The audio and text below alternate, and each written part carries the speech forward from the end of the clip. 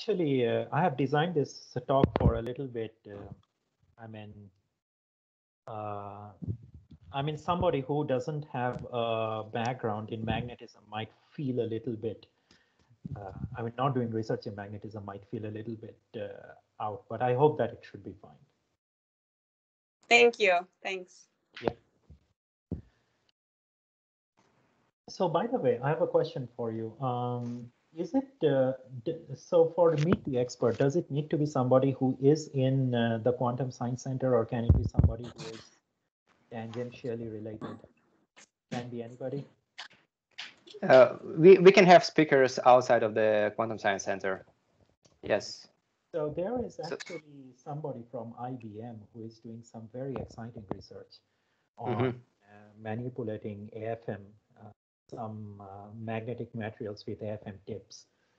And uh, uh, I can forward you a paper which he has published, and then we can mm -hmm. discuss if. that would be great. Yes. Um, do, do you know this person? so okay. could you help? I do. So if you could help to establish the contact, that would be great. And then, of course, I will be happy to provide all the details about our seminar and see if we have uh, later this spring uh, uh, slots available. Great. Can you, Thank you. Can you hear? Uh, I'm sorry, could you please repeat? So can you can you hear me?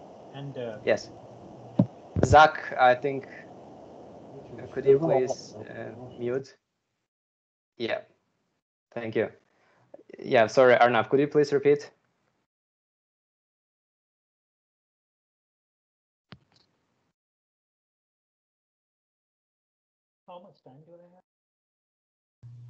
Okay. Um, Arnab, it's it's tough to hear you. If you could maybe turn up the volume um, or something.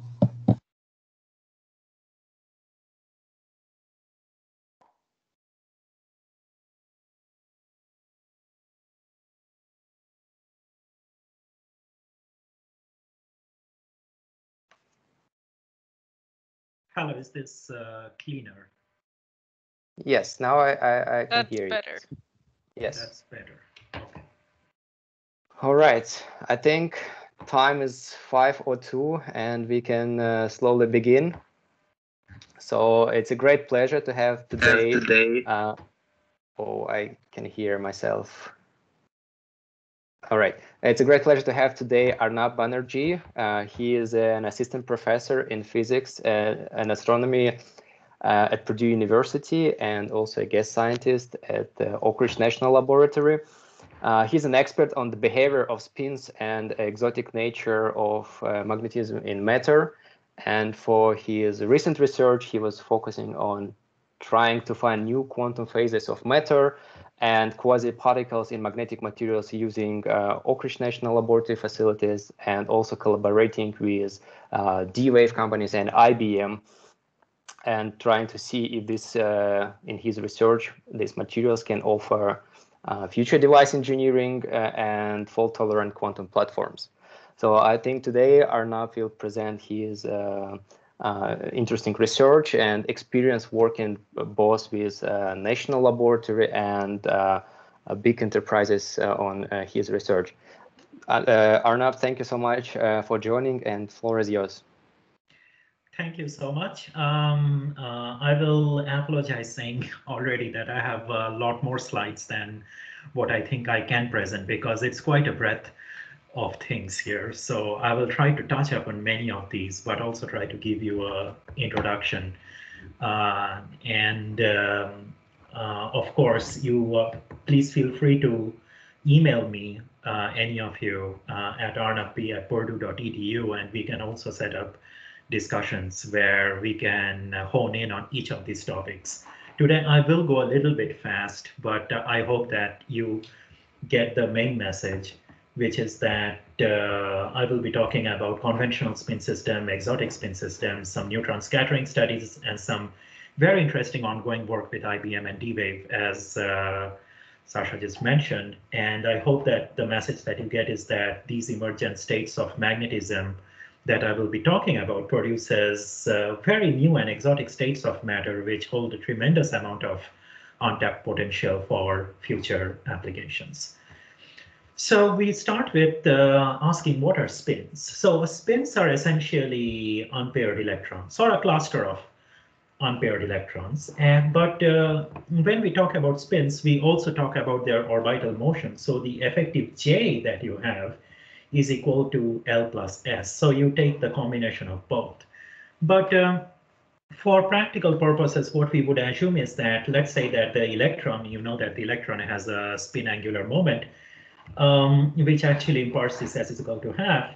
It is almost like a bar magnet with a, you can think of a north and a south. And when we think of spin systems, it will be essentially a bunch of these bar magnets which are in the material, which are these unpaired spins. And how can you get to unpaired spins? The way you get to unpaired spins is uh, in a certain material. What you find is that it depends on how much their orbitals are really filled out. So for example, if you are looking at the native state, states of these transition metal ions, what you find is that, for example, chromium has uh, one single uh, electron in its outermost shell, copper has one, so these will all be magnetic. But if you have, let's say, chromium 3 plus, that will also be magnetic because that will have an odd number of unpaired electrons in the 3D, which will redistribute itself. So as long as you have this odd number of electrons in the outermost shell, it will essentially behave like a bar magnet, uh, uh, is what we really call spins. And the final state will be J is equal to L plus S. So when we are talking about spins, we talk about non-itinerant spins. And this is uh, what it means is that it's not that you have spins which are kind of floating around everywhere. I mean, uh, that's not what we have. What we have uh, actually looks more like, uh, I would say, this Buddhist prayer reeds, where what you find is that the spins themselves are all fixed in uh, places. They can rotate in various directions but they are, the electrons themselves don't move. So you basically have non-itinerant spins, which means that you have to have, um, the system has to be an insulator. It's not that the electrons are just moving around like in a matrix and can wander off. So that's what we are talking about. We are talking about non-itinerant spin systems. And in this non-itinerant spin systems, uh, as you know that we can get spin states of matter like in uh, um, in, in, a in case of normal matter, you get uh, states of matter. For example, if you reduce the amount of thermal motion, what you get is that you can go from a gaseous state where nothing is really interacting to a liquid state where there is some uh, low energy interactions to a solid state where their interactions are so strong that everything kind of freezes and are strongly bound into some crystalline shapes and you get a solid. That's what you also get in spin systems, you basically at high high temperature, you get something like a spin gas where all the directions of the spins are basically all random, they're moving around. And then when you reduce the temperature, what you get is a spin liquid state. And in the spin liquid state, uh, just like in a normal liquid, there are some orderly motions and um, the spins are not as free to move around like you get in a paramagnet. Uh, and, and I will come to the spin liquid state in a, a, lot more detail later. And then when you reduce the temperature more, what you get is uh, a, finally a spin solid, which can be an example of a ferromagnet or an antiferromagnet or a, a ferri, ferrimagnet, just like this. So at higher temperature, and these are the states of matter that we already know about, at high temperature, what we get is basically a spin gas, which is like a paramagnet, and that is when the temperature scale is much, much greater than the energy of interaction between the spins. But when you reduce the temperature, if you have, uh, depending on the sign of this interaction, if this is negative, you basically get a ferromagnet. If this is positive, you get an antiferromagnet, and you get some, if you have some mixed J's, you get something called a ferrimagnet. And these happen below the Néel temperature. This happens below the uh, Curie temperature. And all of these happens at low temperatures when the overall temperature scale is lower than the interaction in between the spins that you get. And then there is an application that you already know of these uh, spin systems is that of solid state memory. where you know that the whole concept of a solid state memory uh, actually rests on this concept of protection. What is protected? It's the ground state which is protected. What does it mean? It means that uh, when it becomes a when you have a non-magnetic state and then when you kind of freeze the spins out, it becomes a ferromagnet and all the spins kind of point in certain directions. And if you have an interaction which makes that point in that way, even if you flip one spin, the overall state of the matter is still a ferromagnet, which means that the information which is contained in this ensemble of spins is actually preserved.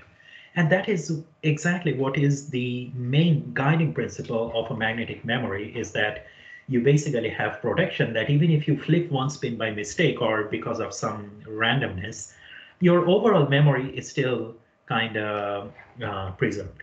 What it means is that essentially your memory is uh, protected by what we call is an energy gap. And for, for a spin to basically go from the up state to the down state, you have to go across an energy gap. So an energy gap is something which protects uh, the memory state here. And this is one application that we know of. However, uh, this is the not the only state of matter um, spin state of matter that we have. We have several, several other spin states of matter. Well, we know about ferromagnets, but we can also have antiferromagnets. We can have liquids, gases.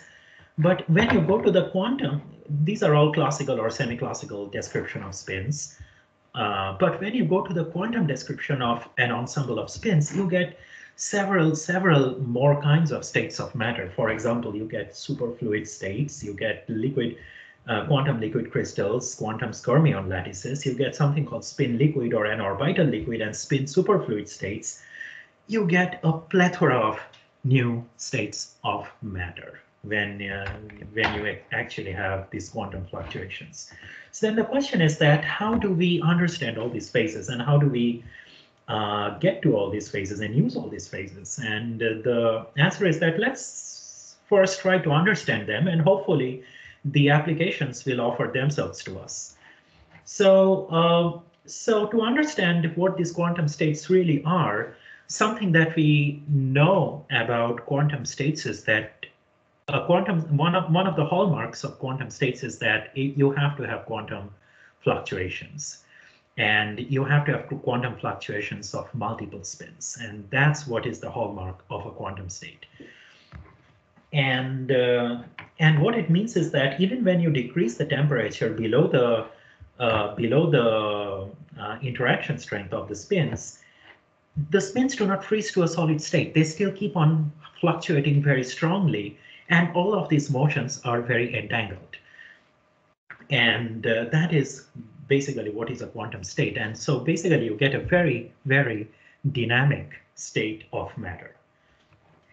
And uh, so that's basically the would be a quantum state of spins. And in the quantum state of spins, the spins themselves are very entangled. And what does that mean? What it means is that, for example, if you take just two spins, let's say uh, two spins, and they form an entangled pair, the simplest, the simplest uh, uh, construct of an entangled pair is a spin dimer. So what is a spin dimer? A spin dimer is one where none of the spins actually keep their own identity. The spins themselves lose their identity. They are so entangled that now you just have one single uh, dimer quasi-particle, uh, which is basically called a singlet.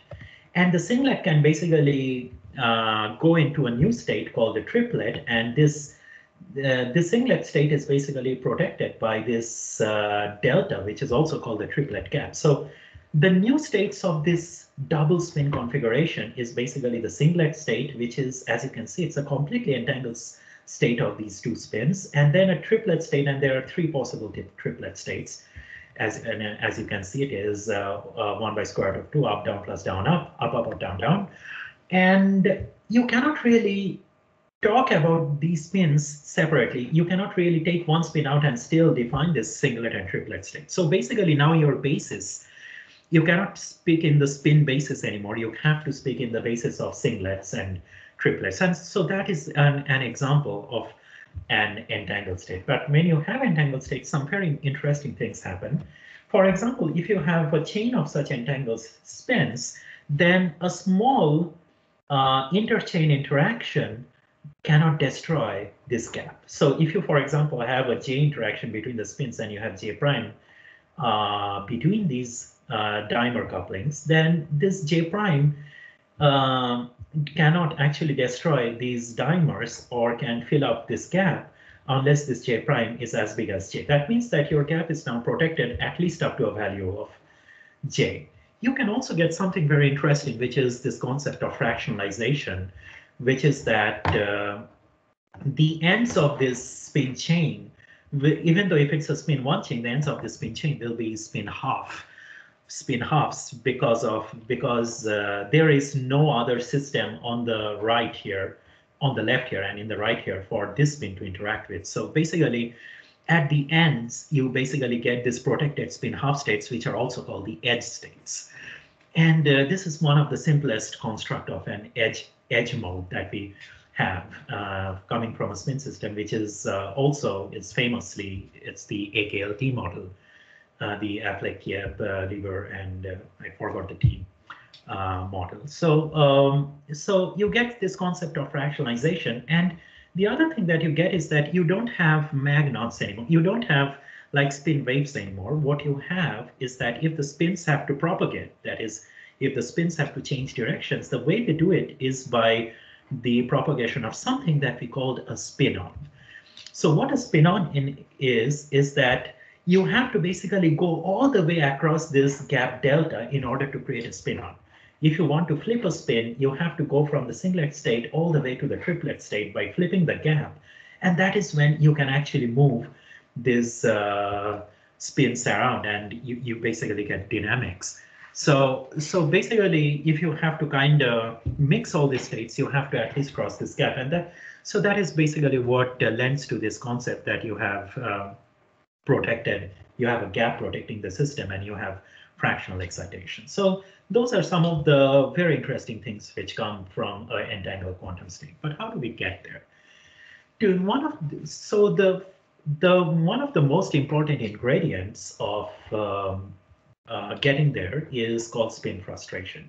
So what is spin frustration? Let's say, let's say that you have an Ising antiferromagnet, uh, which means that uh, if one spin is up and the other spin is down, then the energy of this Hamiltonian is minimized. Now, if you have a, this a triangular motif, what you find is that uh, if uh, one spin is up, one spin is down, if the other spin is down, then this bond is not satisfied. And but if, if it is up, then this bond is not satisfied. So there is no real way you can completely minimize the energy of the system. And this whole system is now called frustrated. Why? Because this spin really cannot decide which way it wants to point. And, and that is actually very important because what this means is that if you have a large frustration, what it means is that the force to disorder is more than the forces to order. And whenever you have these disordering forces winning out, you have more quantum entanglement. And as you could see that you get basically get several possibilities. I mean, you, this can be up or down, this can be up or down, this can be up or,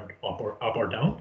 So just from a triangular motif, you have come to six different spin configurations that you have. And these ground states are all highly degenerate. They have the same energy and none of them is really the lowest ground state. So basically, uh, none of them is really, really all satisfying this Hamiltonian. And so that is basically the main ingredient of uh, getting to a highly quantum entangled state. And how? For example, if you have such a triangular motif, you take this triangular motif and then you make a much larger lattice, for example, a Kagome lattice, where you have this, let's say this triangle, this triangle, uh, inverted triangle, triangle, inverted triangle. All of these spins here are frustrated. And the overall ground state is basically composed of spin dimers, which are the satisfied spins, satisfied uh, spin dimers, and then a lot of the spin dimers which are not satisfied. And then basically now you have made this ground state, which is basically a down ground state of these spin dimers. And, and as you could see that this solution is uh, looks very different from these solutions because a separate set of uh, a separate set of dimers are satisfied, but these have the same energy. So all of these ground states are highly degenerate. So basically, the, the example that I showed you is is something that we get in is in herbertsmithite and has a very high degree of spin fluctuations. But these are not the only states that you would get if you have uh, strong spin fluctuations. So you can also get something called spin ice. So in the largest limit, what you have is that if you have such a frustration, then in the largest limit, the system can actually decide to kind of align in a way so that the spins are all 120 degrees apart. So if they're 120 degrees apart in direction, they can all be pointing out or they can all be pointing in. This is called an all out. This is called an all in. So this all in all out configuration is actually very interesting because if you have a lattice and you have this bunches, this uh, like plethora of all in all out configurations and the system freezes, then what you get is something called the spin ice, which has uh, a lot of these all in all out configurations. And, and there are materials in which you can actually get these interesting states. An example is dysprosium titanate, where you basically get this all in all out configurations, which people have actually measured. Real people have really gone uh, uh, and measured these all in all out configurations. And but not only that, you can also construct this all in all out configurations, for example, using a D-wave machine, where in a square lattice, you can also get this all in all out type configurations. But this all in all out configurations really act as a positive magnetic center and a negative magnetic center, and these act like monopoles. And uh, what you find is that in these uh, very interesting states of matter, these monopoles are all separated by something called Dirac strings, and you get very highly separated monopoles, which is basically an emergent quantum behavior, which is very interesting. You can also get skyrmions in presence of a chiral magnetic interaction, where skyrmions, as you, uh, some of you might know that they, these are basically a cluster of spins which has an overall topological winding number. Uh, what this means is that if you take if you basically take the phase of the spins and then you wind across one of these structures, you basically get uh, you basically get an integer phase. And so, uh, so basically these are what uh, are. And if you have quantum fluctuations, this can all move around. You can get something very interesting called the valence bond solids, where one example is one thing that I've already given you, that you have basically a bunch of these uh, spin dimers and uh, they can all freeze together to make these valence bond solids. Now, in these valence bond solids, these are all dimers which freeze in place, but these dimers can be ferromagnetic dimers or antiferromagnetic dimers, and they can be up-up spins pointing very different directions at in different times. So if you take a screenshot of it, if you take a snapshot of this at time one and a snapshot of this at time two, you will see that all these spins uh, even though these are all satisfied dimers, they all face very different directions. So that's basically an example of a valence bond solid, and you basically can get various kinds of valence bond solids. If you have like a spin ladder, it was all introduced by Duncan Haldane. Um, uh, the kinds of the valence bond solids that you get, and also Phil Anderson. And then, very interestingly, you get another state of matter called the quantum spin liquids, where you have you don't have just this spin dimers. You have you can have spin dimers spanning very long range distances. You can have this spin forming a spin dimer with that spin, this spin forming a spin dimer with that spin, and then you basically have very long range entanglement and short range correlation and so uh, you can actually have quasi-particles in this system. So these are some of the most interesting states of matter that you can find. And some and the excitations of this uh, quantum spin liquids are also very topological in nature, which is something that I will uh, come to. So, so what are these quantum spin liquids? In quantum spin liquids, uh, what we have is basically a disordered set of spins, which looks disordered, but uh, they're not quite fully disordered. But what is most important is that they have very long range uh, dimer-like interactions, and they can be protected by uh, triplet gap. So all these spins are basically entangled. So the directions are all disordered and you get very highly degenerate ground states, but the motions somehow are all very ordered. And, and how do you understand that? You understand that like this. So in a in a normal liquid, what happens is that, for example, if you just throw a stone in water, um, you form waves. Now, the water molecules themselves are all moving around in all kinds of random directions, yet the interactions between them are strong enough that they still form waves, even though they are all moving randomly around. And that's something very similar which happens here is that even though the spin directions can all be random, uh, they still form these wave-like patterns. They still have very orderly motions. And since the motions are very orderly, the dynamics are very important and you see their signatures in things like spectroscopy or in transport, which are all dynamic, uh, are very dynamic uh, uh, probes. And uh, this and this dynamics can also be very exciting. For example, you can have ordered motions which look like vortices or anti-vortices, and you get all kinds, all new kinds of excitations in these states of matter. And so uh, one experimental platform of quantum spin liquid is that of geometric frustration, which is something that I already told you about. It's a triangle, triangular motif, but that's not the only one which exists. You can have exchange frustration, and you have uh, material examples of all of them. You can have exchange frustration, something I will go into in a lot more detail. Uh, you can have uh, something like a mixed between a geometric and exchange frustration, and you can actually make um, networks like uh, organics and uh, metal organic frameworks, where you can basically tailor the frustration inside your system. Shastry-Sutherland lattice would be one example of a network based frustrating model. And spin liquids is a very hot topic, as you could see if I plot the number of publications uh, every year as a function of um, number of publications by year, it kind of seems that it is kind of going up the roof. And, uh, and the reason why it is going up the roof is because uh, these spin liquids uh, give rise to uh, a very peculiar kind of behavior, which is that it can produce something called quasiparticles. What are quasiparticles? Quasiparticles are basically the effective motions of the spins. They behave in such a way that uh, a groups of spins behave in a way as if it behaves like one single quantum particle. And so these effective particles are called quasi-particles, and they come because of how the spins are all move or moving. And these quasi-particles can have various kinds of behavior. And uh, one example of quasi-particle is, of course, the Majorana fermion. There can be anyons, there can be Dirac fermions, Weyl fermions, so a whole bunch of them. One example, of course, is the Majorana fermion, which uh, many of us know here. It's uh, basically a quasi-particle, which is its own antimatter.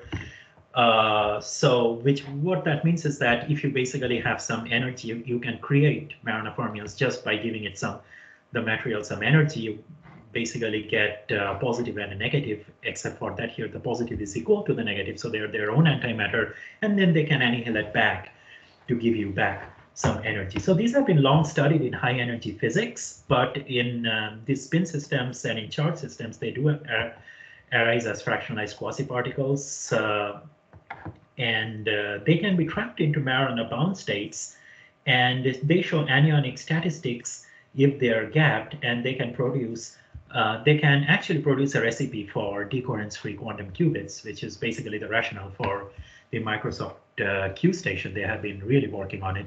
So, uh, so these are, um, so that's what this uh, one example of these quasi-particles. They, they, it's not the only example, by the way. There are many more examples. I'll come to that. So um, to get into a little bit more detail of how we can get these Majorana quasi-particles out of this Kitaev spin liquid. So this Kitaev spin liquid is basically composed of three different bonds, this J1, J2, J3, all of which are Ising interactions. So J1 is Ising, J2 is Ising, J3 is Ising, but all of these three Ising interactions point in different directions in space. What that means is that the spin, which is right in the middle, is kind of frustrated because the J3 bond wants to pull it in one direction, J, J1 wants to pull it in a second, J2 wants to pull it in a third. So now if you consider a whole lattice like a honeycomb lattice, you see that a honeycomb lattice is is a is one of these y's and an inverted y or y and an inverted y, so on and so forth. All these uh, spins are now frustrated, which means that now they form all these uh, spin dimers that we just talked about, these Ising spin dimers, And it's just not one state of one solution that you get. It's basically a combination of several such possible spin dimer solutions. For example, here you have a dimer on this bond, while here you have a dimer on this bond and not on this bond. And these are all viable solutions. And if you have a high degree of quantum fluctuation, then the system basically keeps on jumping from one of these degenerate ground states to the other. So everything is very mobile. So this is basically an example of a quantum spin liquid state. And what uh, Alexei Kitaev showed back in 2006 is that you can actually rewrite this problem completely in a basis of static and in, in the basis of localized and itinerant Majorana fermions. Uh, what I mean, in his brilliance, what he found is that uh, there is an emergent Z2 symmetry which arises because of something called a plaquette operator. If you take all these six spins at the six corners of a honeycomb and then you multiply all of them, you basically get a conserved quantity, which is either plus one or minus one. So this is the the plaquette operator or the flux operator. So it's it's almost like saying that you have either a vortex or an anti-vortex which will form in these systems. And uh, then using that, he was able to break the whole uh, Hamiltonian up into and rewrite it in the basis of Majorana fermions. And he was able to show that the excitations are basically Majorana fermions, and there are two types of excitations. One are the gapless Majorana fermions, and another is uh, the gauge fluxes or the zones. And not going into too much detail, I will tell you is that he not only solved the phase diagram, he basically showed in which part of the phase diagram you would get abelian and in which part of the phase diagram you would get non-abelian excitations. And if you apply a small amount of uh, magnetic field, what happens is that these gauge fluxes and Majorana fermions start to interact with each other using uh, through this field. I mean, this field kind of acts as a gluon, and that gaps out the spectrum. And below the spectrum, now you get this uh, quantized edge modes. And uh, you and you also get four different kinds of quasi-particles in the system. You basically get some bulk gap bosons, which are trivial, which are basically like magnons. And then you get some bulk gapped emergent, excuse me, Majorana fermions. You get these gapless edge modes, which are the half quantized chiral Majorana fermions. And you also get this bulk gapped Ising non-abelian anyons, which are very uh, exciting. I mean, because uh, we don't have too many platforms that can give anyons, which are neither fermions nor bosons, uh, somewhere right in between. And uh, the way you and and what it turns out is that you also get these edge modes, and these edge modes basically uh, whenever and this whole system has a non-zero Chern number, which means that you will have these edge modes. And there is actually a fierce research which is going on right now in order to study and control these quasi-particles, both using transport and spectroscopy and other techniques. The question is that what are these edge modes? Can we see it in a real material? And can we actually use these edge modes? Does this edge modes carry the same kind of wave functions as its non-abelian anyons, which means that can we take these edge modes and can uh, can these edge modes act as a handle on my on, on my anyons and uh, can we control each other through this edge mode. So basically the, those are the kinds of research which are going on. And so basically, once you get these anyons, these anyons do not commute. So if you break them, you can create yet new kinds of operations. So in this uh, quantum spin liquids, you basically get the uh, bosonic sectors, which is basically vacuum. You get the fermionic sector and the vortex sector. These are the super selector, the super selection sectors. Again, not going into too much detail. What you basically have is that you get these fluxes, and then you get this uh, localized fluxes, and then, then you get these Majorana fermions, which kind of move all over the place, and which also produce your uh, edge modes. And uh, and these fluxes, when they bind to the Majorana fermions, give you these anyons, which essentially what, what, what it means is that you can take these anyons, if you can find out a way to take these anyons and braid them, either you can braid them physically or you can braid them um, using uh, teleportation based techniques or some other techniques where you don't have to physically break them one across the other. You can actually do some mathematics. Um, you ha actually have to do do some kind of uh, um, manipulation on your material so that even if you don't take these anyons physically and you move them across each other, it still it does the same kind of mathematics as braiding, then what you find is that you can actually use this to make uh, new kinds of protected quantum gates. Um, so that's basically uh, research direction which is going on and is a very hot research topic right now. So um, then, then we come to this point that, okay, fine, what I have all, say, all been saying so far is all fine in theory, but how does it all work in practice? So how do we measure the spin dynamics? So to measure the spin dynamics, uh, so if you have some magnons, you will have something like the spin wave moves, which is basically a motion of the spins, this wave-like motions of the spins. But you can also have something which is very uh, exotic, like this vortex and anti-vortex states. It turns out that uh, what you have to do is to measure the spin-spin correlations. And the spin-spin correlations is something that you can measure using several techniques like neutron scattering, RIXS, Raman, terahertz, ARPES, spin ARPES, uh, ESR. Here I will be talking a little bit more about neutron scattering, something that we do in a national lab. In a neutron scattering, the way neutron scattering works is that if you have an incident neutron, you hurl it towards a sample and then an exit neutron comes out. If you know the incident energy and the momentum of the incident neutron and you know the final energy and momentum, you can pretty much figure out what the scattering matrix is. And that scattering matrix has all the telltale information about, about um, the scattering cross-section and the scattering matrix has all the information about these excitations. So neutrons have a mass so that it has a de Broglie wavelength. So you can actually look at the atomic correlations using neutrons, but neutrons also have a magnetic moment. So the magnetic moment of a neutron interacts with the magnetic moment of your sample. So uh, from the way the neutrons are scattering, the, mag the magnetic, these magnet neutrons are basically like bar magnets themselves. And so how this neutron is scattering across the magnetic sample basically gives you the spin-spin correlations inside a material. To get you in a little bit more detail, uh, what do neutrons really measure? It measures the magnetic scattering cross-section. So basically, this is the whole equation. Don't be afraid. I can break it down for you. Basically, if you have two spins at two locations, which is alpha and beta, then what what you really measure is this whole is this whole function here. So it consists of it's called the neutron scattering cross-section. It consists of some constants. It consists of something called the magnetic form factor, which is a very important term which helps us separate what is magnetic and what is not.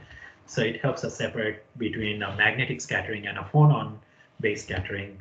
We have some uh, we have some selection rules which says that only perpendicular components of the spin contribute.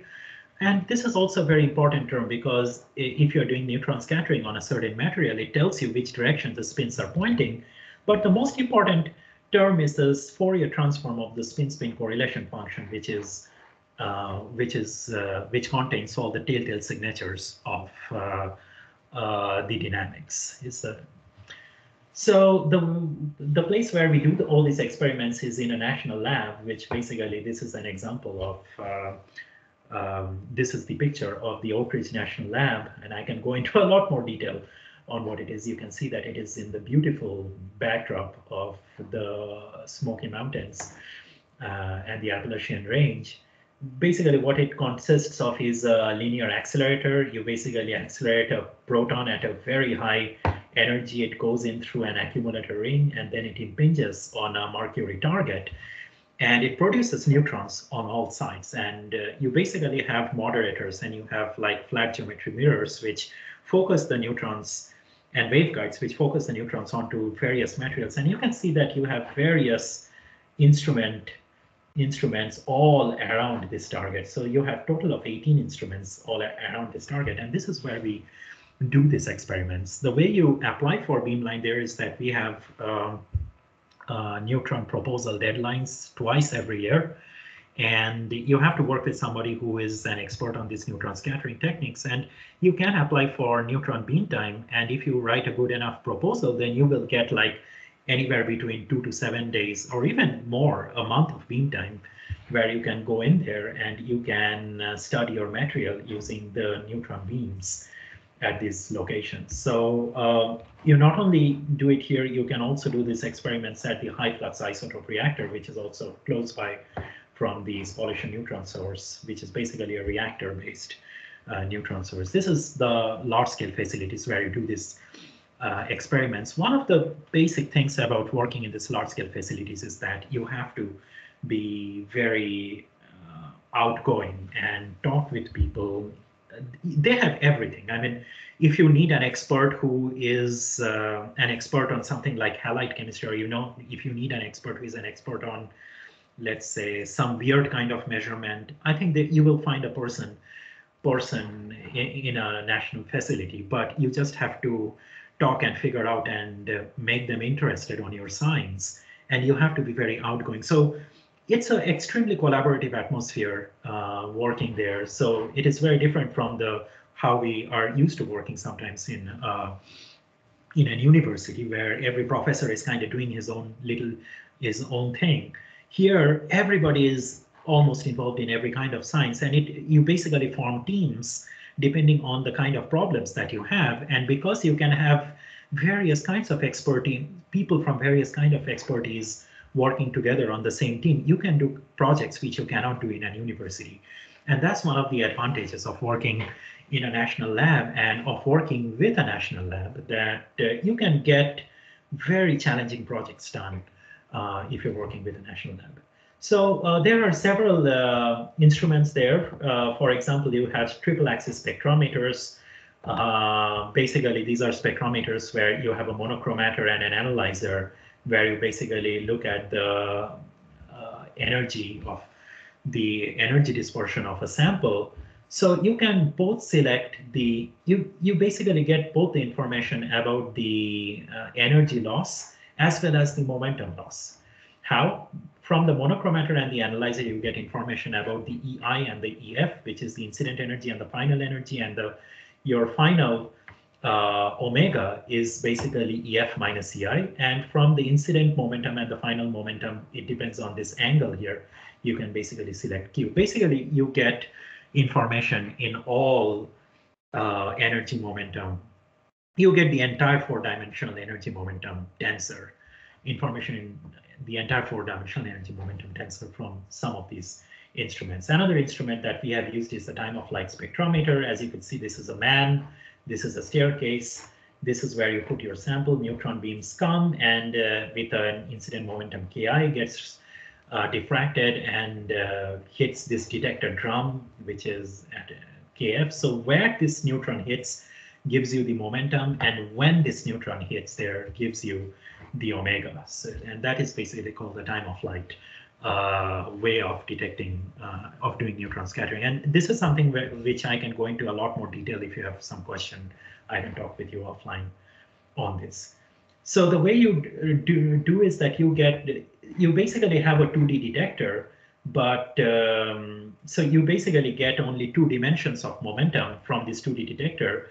You basically reconstruct the third dimension by taking one of these samples. So here you see basically a sample uh, mounted on on this aluminum fins. You take this sample and you basically rotate the sample, and for each rotation, basically you get one of the slices of the third dimension, and this way you can basically regenerate your a three-dimensional reciprocal space uh, image from a two-dimensional detector. You basically you do what is uh, almost like a tomography.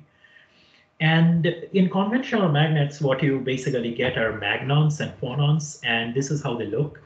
This is how it looks in the real space. And if you look at it in the Fourier space, this is energy versus momentum. They basically look like this cone-like shapes of dispersion. And this is basically energy, this is momentum, and this is basically what I'm showing here is real data from a certain material. And these are momentum in some in-plane axis. You see that if you make a cut right here, these are cones. If you cut right along a cone, basically what you get is this circular ring-like shapes. And those are how phonons or magnons really look like. These are magnons coming from some long-range ferromagnetic order or antiferromagnetic order. And then when you go up and up, you make a cut at a higher energy, these phonon modes or magnon modes actually become larger and larger. So this is how uh, dispersions look from phonons or magnons, which are essentially bosons. However, um, so they produce very sharp features. However, if you have a fluctuating moment, you will get very broad features. Why? because uh, if in the real space your spin-spin correlations are long-lived, you will get a very sharp feature. But if it is short-lived, which means that your fluctuations are higher, you will get very broad features in energy. So basically, your real space and Fourier space are kind of conjugate of each other. So something which is long-lived and unfluctuating in the real space will have a very sharp feature in the reciprocal space, and something which is fluctuating will have a very broad feature in the reciprocal space. And same for correlation length and correlation time. I mean, something with uh, long range correlations have very sharp features like Bragg peaks, while short range correlations have uh, uh, very broad features. So using this, we can find out what is fluctuating and what is not. And we can also figure out whether things are are fractionalized or not. For example, if you have a spin spin, if you have a spin one chain and basically one spin flips, and now you have basically a domain wall, which each of these carries an effective spin charge of half. So basically a spin one has effectively fractionalized into two spin half solitons. What is, how does the uh, dispersion of that look like? So this is energy, this is momentum, the dispersion looks like this broad continuum of scattering, which is bounded by these meniscus of uh, this is uh, antiferromagnet and this is that of a ferromagnet, and you get this bound, sorry, this broad scattering in between these two meniscus. And that's exactly what you kind of go and measure. If you go and measure a material which has this kind of a Hamiltonian, you get this broad, broad features that you can measure in energy and momentum. And uh, people have measured this all over the place. So um, how, what exactly do we, how, uh, how, so that's all fine. So um, we know how to measure this now.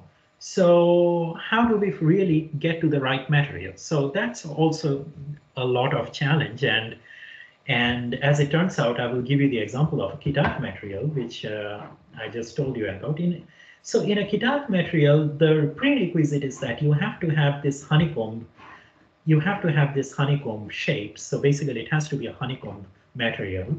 And you also have to have this weird Kitaev interactions. That means that this bond, this bond, and this bond all have to face different directions.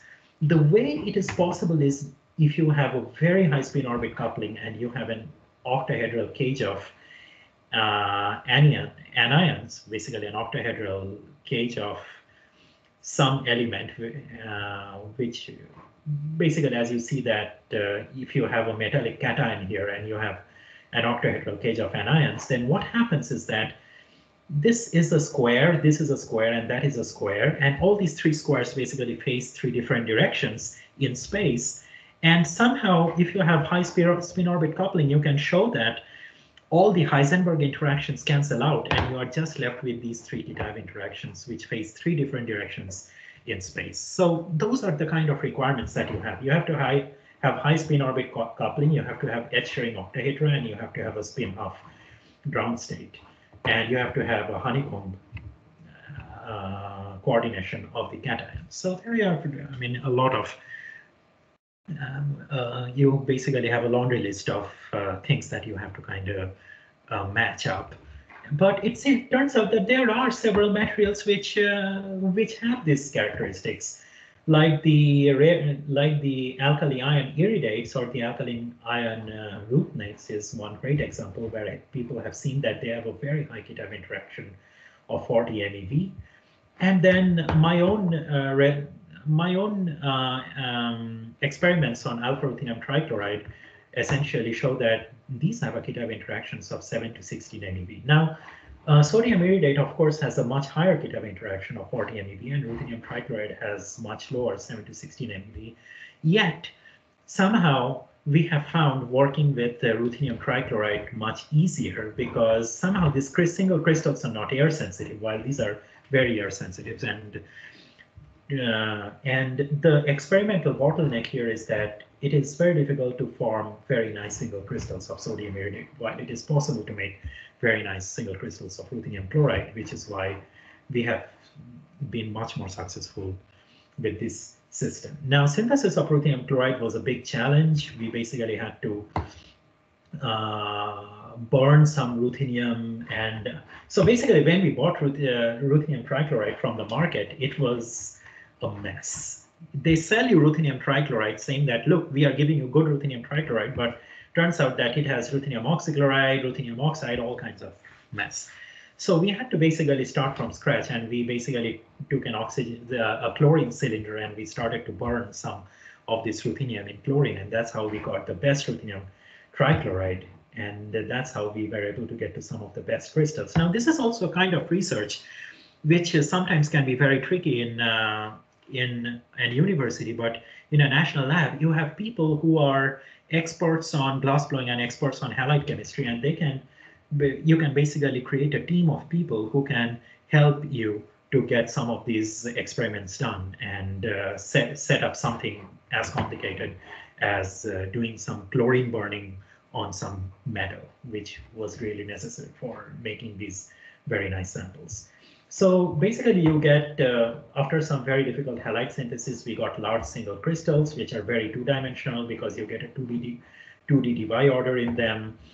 They are very nice Mott insulators and you get pretty strong spin orbit coupling as we could see in scanning tunneling spectroscopy measurements, almost uh, 200 MeV. And in this material, when we did neutron scattering, we figured out that it has a very rich phase diagram where if you look at temperature versus field, it goes from a zigzag antiferromagnetic state through a spin reorientation to a gapless spin liquid phase to a gapped spin liquid phase. And we were able to kind of track all of that down.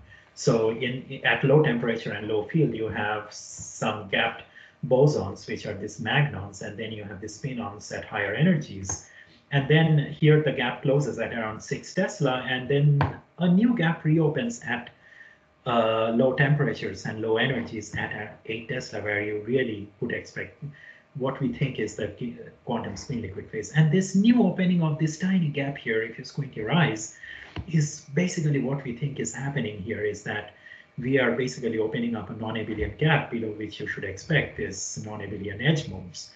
And uh, long and behold, uh, that's what basically people discovered. They were able to, people got motivated from the experiments that we did with neutrons, and they were able to find this very nice half integer quantized Hall plateau It was published in Nature in 2018, right at 8 Tesla, where they measured the thermal Hall effect as a function of field, and they found this very nice plateau, uh, which is exactly half quantized, which shows that you have Majorana fermions in the system. It is one of the direct uh, uh, measurements of Majorana fermion end states in this system. And they also were able to show that depending on which direction you apply the field in this material, you can basically move the Chern number from plus one and minus one, and it can also go to trivial states and, and uh, can get a large number of states. So there is a lot of research going on right now. For example, here with Yang Chen, we are trying to do a platinum RuCl3 bilayer for spin Hall magnetoresistance measurements. We are trying to do STM measurements both here and at Oak Ridge National Lab, and also trying to make graphene RuCl3 heterostructures and understand uh, what kind of quantum oscillations that you get. And is it possible to actually change the properties of graphene or the properties of ruthenium trichloride by slapping them right on top of each other and uh, then gating them? And th these are kind of uh, technologically relevant measurements that you that we are trying to do in order to understand um, how to work with the systems in the device geometry. So uh, there are several future challenges. Of course, one of them is how to make uh, qubits out of these materials. And uh, I'm going a little bit fast here because there is a small section I also want to cover in the last five minutes.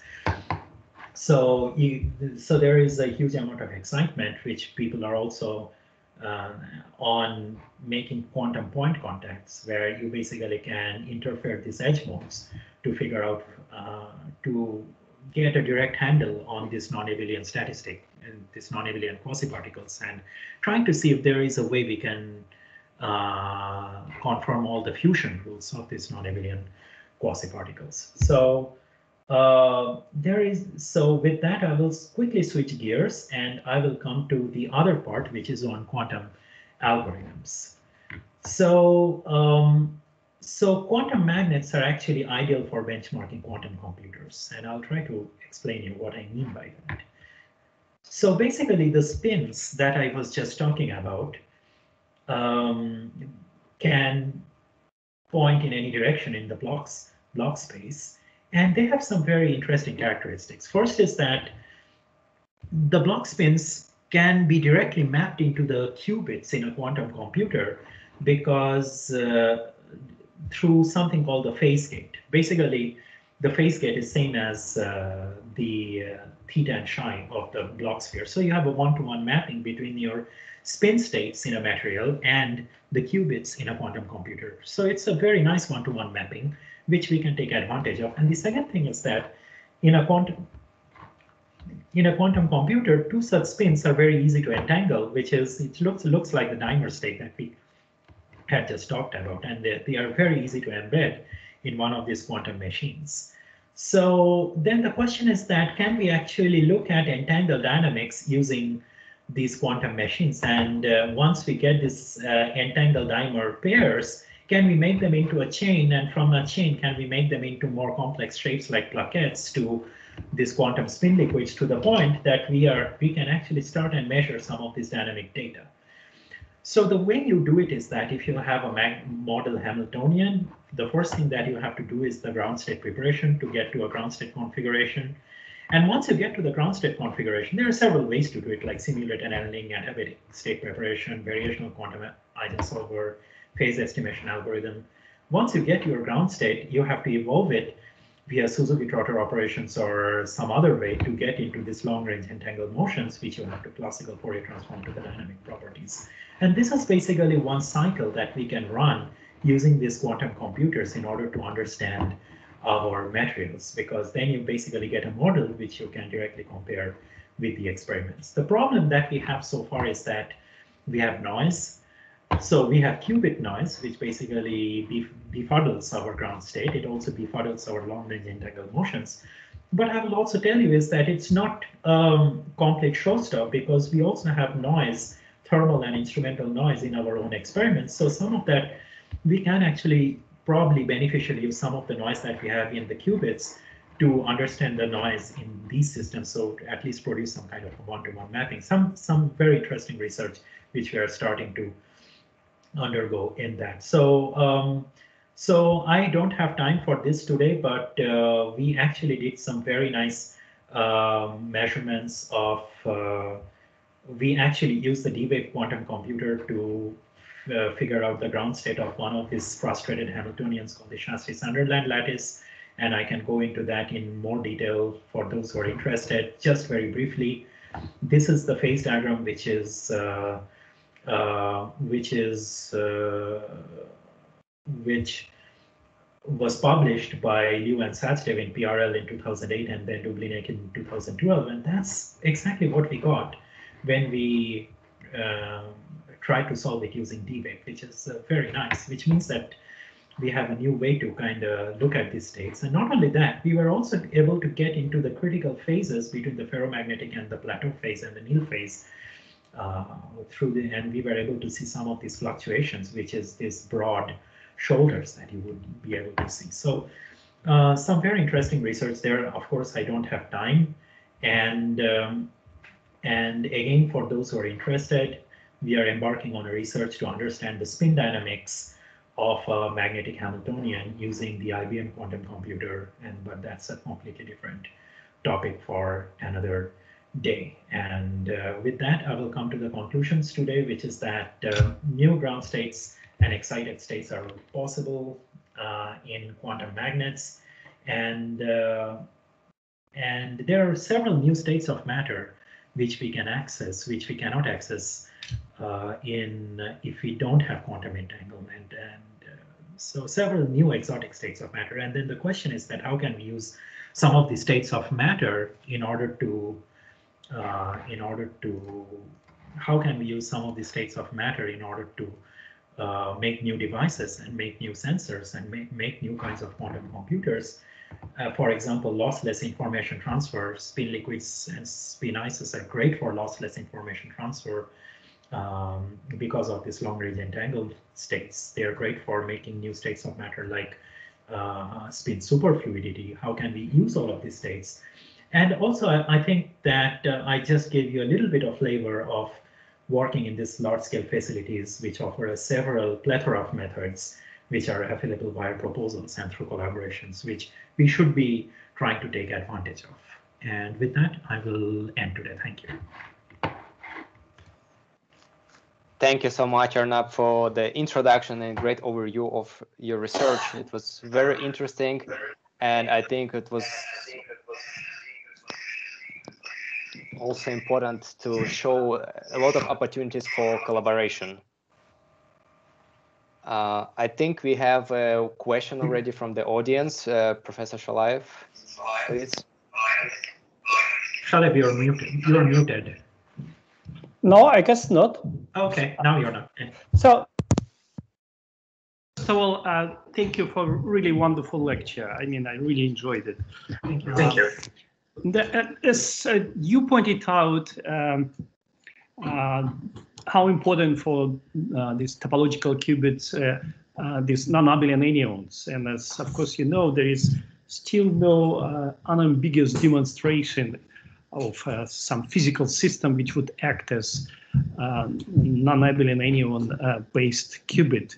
So you mentioned also a number of various materials, Majorana, these uh, gapped spin liquids, and in literature, for example, they also discuss now like non-abelian optics.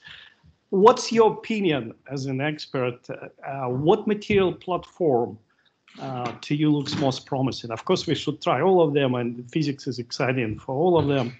But maybe you have some intuition in terms of which material platform is most promising for realizing these topological qubits based on which have this non-abelian property. So um, what you asked is basically a million dollar question. It's literally a million dollars because when we answer that question well, we will get a million dollars to do the uh, research. So uh, my feeling is that we have to uh, look at the basic nature of these materials and what are the prime ingredients that we need to satisfy. So we need to satisfy magnetic frustration, which is very important. And there are several, several ways in which we can get magnetic frustration and some of these longer range entangled ground states and I, I just I mostly concentrated on the honeycomb lattice and the triangular lattice here, but you can get like square lattice, you can get like other kinds of lattices. So um, so frustration is the key, and uh, frustration actually enhances uh, quantum entanglement and lets us uh, gives us kind of a window to see them. And so that's one of the most important things that we have to do. The other thing uh, that we have to do is understand is that uh, these are emergent. These are emergent processes. What it means is that a single spin or a single charge is probably not important as much as what is the collective behavior. So essentially, we have to find a way in which we are interrogating not just one spin or one charge. We have to find a way in which we are interrogating more than one spin, more than one charge. And those are the kind of, uh, and then we can basically say that, aha, this is basically the amount of entanglement between these two systems, or we have an overall emergent state which is arising, which is long range entangled. So th this is where, very broadly speaking, we should put our money on. More specifically, I think that uh, there is a large plethora of 2D frustrated magnets that we should really examine very carefully and uh, especially looking at things which can be exfoliated, which can be put into like thin films and made devices on, on which one can do like maybe two NV center probes or double STM probes or SPM probes. And uh, and also, of course, these uh, large scale uh, scattering techniques are of course there. And then there is one, one more very interesting development which is happening, which is something that I wanted to tell you about and I never got the chance, which is a new research which has come out of IBM. And this person who is leading this research uh, spoke spoke with us, which is where he basically took this STM tip and he moved some spin half titanium atoms close together to see what happens. And what he found is that he was able to produce a bound state he was able to produce the spin dimer states, uh, this uh, entangled state, just by bringing these titanium atoms very close together so that these spins lose their individual identity and then they become these nice uh, tiny dimers. and then they were able to kind of start to play around with it, and then they were able to kind of make this uh, large uh, lattices of these tiny spin half dimers and make it into a quantum spin liquid. And this was just published in Nature Communications. Uh, and uh, so, so, and the reason why they are trying to look at these systems, this is a completely artificial system where you can also get a spin liquid. And the, the reason why they're trying to look at these systems is because they get spin superfluidity they are trying to look for spin superfluidity and lossless information transfer. So there is more than one ways in which we can try and look at these systems. This is both in an emergent fashion and then in a real material in a much in a slightly reductionist fashion. So that that's my broad answer.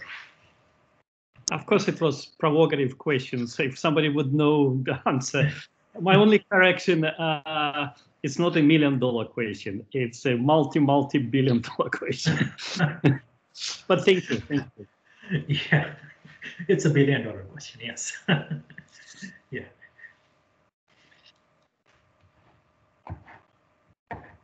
And just uh, just uh, since uh, there are lots of students, postdocs involved, and uh, we need to think out of box. We know that there are like two parallel uh, approaches for quantum computing, like IBM, Google from one side, and let's say this recently demonstrated quantum supremacy based on uh, photons, sources of indistinguishable photons and boson sampling, basically photon-based.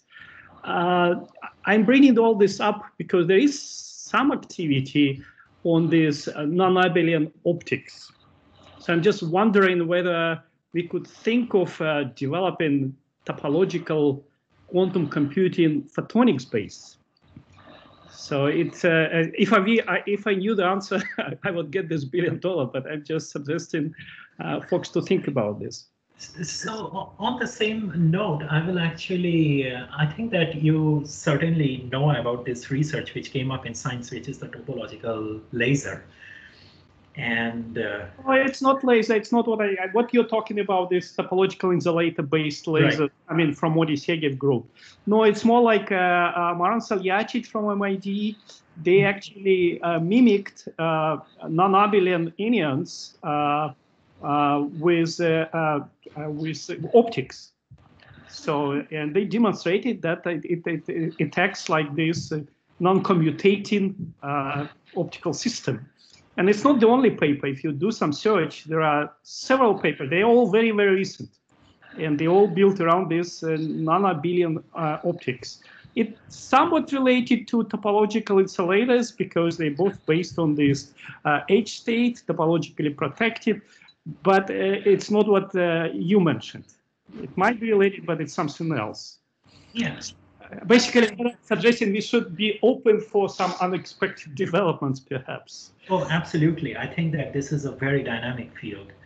And uh, I think that edge states, the concept of edge states kind of transcends all the fields. Even uh, in, in my talk, as you realized, I have this connection with the edge states. Um, but uh, but uh, that's a very interesting development. I really have to read up on that. And thanks for attracting my attention. Right, it's uh, Marin Soljačić 2019 Science. You could start with this, but there are also uh, other papers. And it's just in the title, non-abelian optics, basically. Ah, I'll definitely look that up. And uh, then we should discuss, absolutely. Yeah.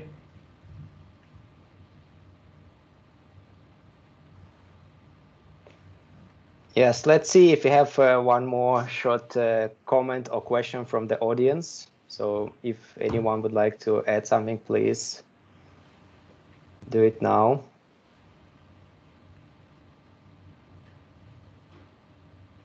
If that's not the case, I would like to thank you again, Arnab, for joining our seminar and giving a great talk. Uh, we all enjoyed a lot.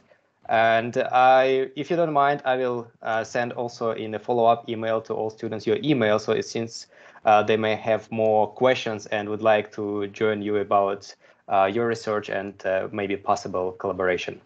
Oh, absolutely, I would be, I would love, love that. Thank you. All right, thank you so much, and thank you everyone for joining us today. Yeah. Thank you. Thank you. Thank Goodbye. You.